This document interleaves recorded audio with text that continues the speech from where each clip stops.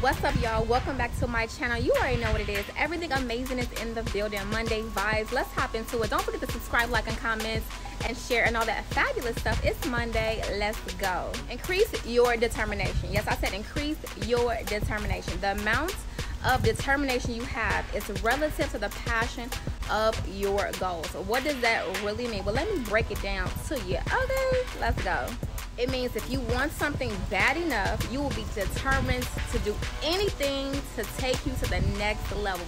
Anything. God will provide all your resources when you are ready to be elevated, period. If you don't want something bad enough, yes, if you don't want it, which means you're not passionate about it, you won't chase it. Period. The end. Determination will be reduced. It's that simple. Okay?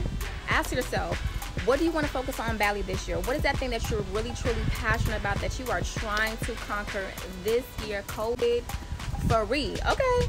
We all know determination is super essential to grind towards your goals and overcome challenges to reach to the top. Focus on that and you will see your determination win. Happy Monday. Let's get it.